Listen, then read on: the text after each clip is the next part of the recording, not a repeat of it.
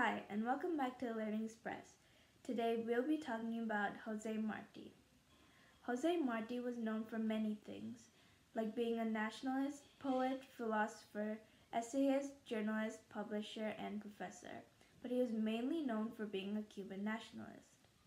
Jose Marti was born on January 28, 1853, and died on May 19, 1895, at the age of 42.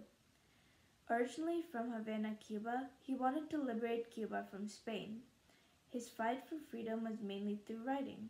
He wrote multiple journals, poems, and reviews, all fighting for Cuba's independence. Unfortunately, his work for liberation resulted in being deported to Spain twice and exiled from Cuba once as a punishment.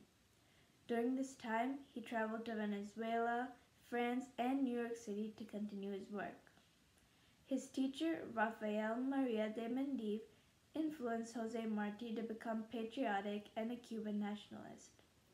Today, Jose Marti is considered a Cuban hero.